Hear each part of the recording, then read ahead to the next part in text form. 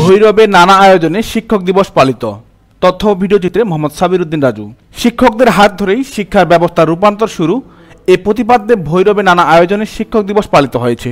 দিবসটি উপলক্ষে উপজেলা শিক্ষা পরিষদ আয়োজনে বৃহস্পতিবার সকালে উপজেলা পরিষদ চত্বরে এক বর্ণাঢ্য র্যালি বের হয় সড়কের বিভিন্ন প্রধান প্রধান সড়ক প্রদক্ষিণ শেষে একই স্থানে এসে শেষ হয়। পরে করৈতলা মুক্তমঞ্চে সরকারি জিল্লুর রহমান কলেজের ভারপ্রাপ্ত অধ্যক্ষ খাদিজা বেগমের সভাপতিত্বে প্রধান অতিথি হিসেবে বক্তব্য রাখেন উপজেলা সহকারী কমিশনার ভূমি মোহাম্মদ জুলহাস হোসেন সৌরভ।